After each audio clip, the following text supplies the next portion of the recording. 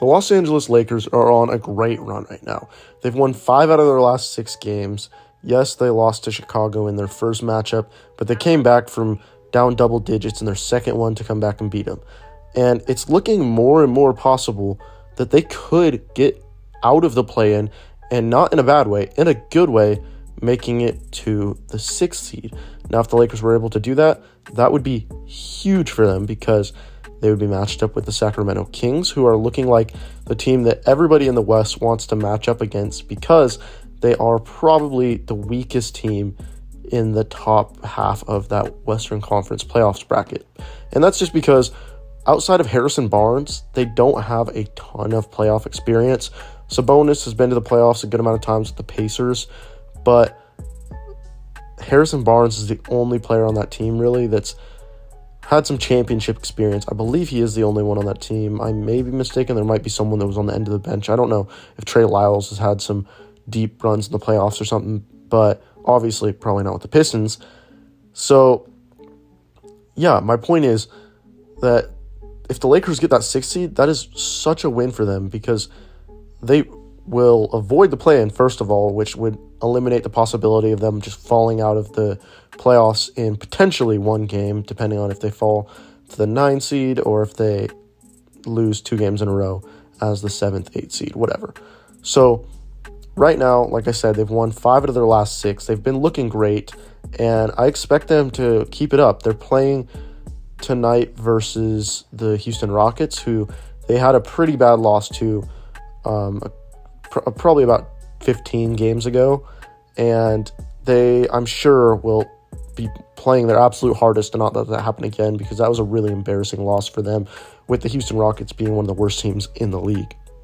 But you can't count them out because Kevin Porter Jr. made a statement saying that it's the Lakers. They're going to play their absolute hardest to beat them because it's the Lakers. The Rockets want to get that W, even though really more losses means better lottery projections for them, which is way more important than just beating the Lakers on a random Saturday night. So we'll have to see what happens there, but the Lakers are really going to have a chance to slide into that sixth spot. So definitely keep an eye out for them Lakers because they're making moves.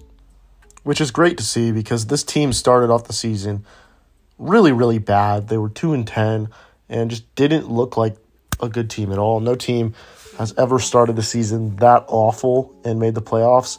And it's looking more and more promising that the Lakers will end up making it. So right now, they are sitting in that eighth seed spot, half a game behind the Pelicans. They own the tiebreaker over the Pelicans. So if they win tonight against the Houston Rockets, they will move back up to seventh, which is only, I believe, one game out of the sixth spot. So they're going to, the Lakers are going to end up playing the Clippers on April 5th. And if they beat the Clippers on that game, they will be in the sixth spot for that, at least that game, that day. Um, it's going to shake up a ton, but they would move up to sixth, which is really good because the Clippers don't play again until April 5th. So if the Lakers win against the Rockets today, they will get up to the seventh spot. They'll move up and tie with the Pelicans, but they have the tiebreaker, like I said. Then they have the Jazz on April 4th, and the Jazz uh, basically started to call it wraps on the season.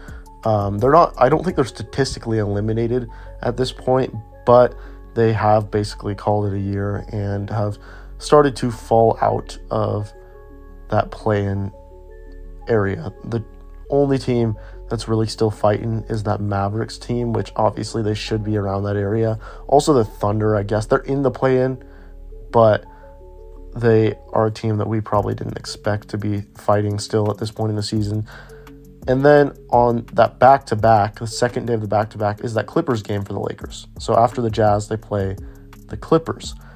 So since that is the second day of a back to back, that's going to be a rough game. But the Lakers haven't beat the Clippers in a very long time, so they're probably due for a win at this point. And when I think of how that game is going to go, Paul George, I believe, is not going to play. I'm pretty sure that's like a for sure thing. Paul George won't play. It's going to be the Russell Westbrook revenge game. There's going to be Kawhi Leonard still, um, at least we assume, unless, well, I guess they don't have a game until then. So, yes, they'll have Kawhi Leonard. everyone will be fully rested for them because they have a lot of time off. They just played, I believe it was last night, which was April 1st, and they don't play the second, the third, or the fourth, which is a lot of time off. Three days off is something you don't really see. Nobody plays on April 4th. I don't know if there's a reason for that, but I don't believe any, or nobody plays on April 3rd, I believe it is. So I don't really know if there's a reason for that or not, but the Clippers are hungry and they, they don't want to fall into that play-in tournament, that's for sure. With the 7, 8, 9, and 10 seeds being in the in the play-in tournament and the West being so competitive this year, it's pretty easy just to slip down to that seventh seed and be in the play-in tournament. And it's really looking like the only two teams that could fall out of that play-in tournament or out of the non-play-in tournament playoff teams is the Clippers or the Warriors. And the Lakers do have the the tiebreaker over the Warriors, so that might be better. But the Clippers look like it is more reachable for the Lakers to get. Now, even if the Lakers win this game against the Clippers, they won't have the tiebreaker. So the only reason this matters is because if the Lakers win this one and the Clippers lose, that's a one game swing instead of a half game swing like would normally happen. So I'm going to pull up the standings right now. And if we look at it, the Lakers are in the eighth spot. Like I said, they're 39 and 38. The Clippers are 41 and 38, meaning they have less games left than the Lakers. They have the same amount of losses as the Lakers as well. So if the Lakers win against the Rockets, that'll get them one or well half game behind the Clippers. If they win against the Jazz, that'll get them tied with the Clippers which would still mean that the Clippers would be ahead of them because the Clippers are going to have the tiebreaker. But if they beat the Clippers, that would then get the Lakers a full game ahead of them, which is a big deal, assuming that the Lakers win their next two games. Now, also, Minnesota is right on the Lakers' tail. They're half a game behind the Lakers. So you do have to watch from teams coming from behind. And then the Pelicans, like I said, they have played one more game than the Lakers right now, so they are half a game up. But the Lakers have the tiebreaker right there, and since since they played one more game, I am not too worried about it right now. Talking about this in our hypothetical stance because we're assuming the Lakers are winning those next three games, or at least the next two, and then hoping they get that last one. Then after that Clippers game, they have the sixth off of April. Then on the seventh, they play the Suns, which is going to be a huge game, a huge game, because that Suns game is going to feature Kevin Durant, and that is going to be the first time that LeBron and Kevin Durant have played to, against each other since 2018, Christmas of 2018. So a very, very long time ago. It's going to be a huge matchup that a lot of people are going to be tuned in watching. So I expect that to be a very, very competitive game, and that is going to be an Anthony Davis game. We're going to need Anthony Davis in that game. He's going to be guarded by DeAndre Ayton.